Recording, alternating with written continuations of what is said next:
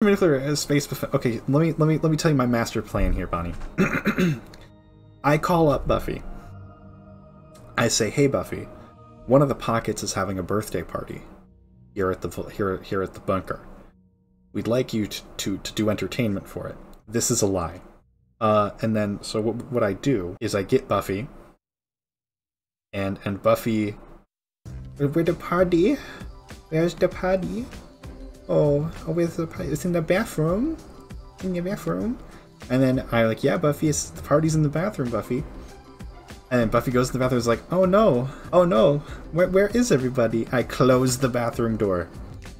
I lock the bathroom door. Buffy like, no, PM, why? Why PM? And I'm like, I'm sorry, Buffy. And what now? So I've I've asked Buffy to bring the item that I want to take from Buffy. They've now left it in the foyer of the vault, and so because they are now locked in the bathroom, I can then take it and put it somewhere else.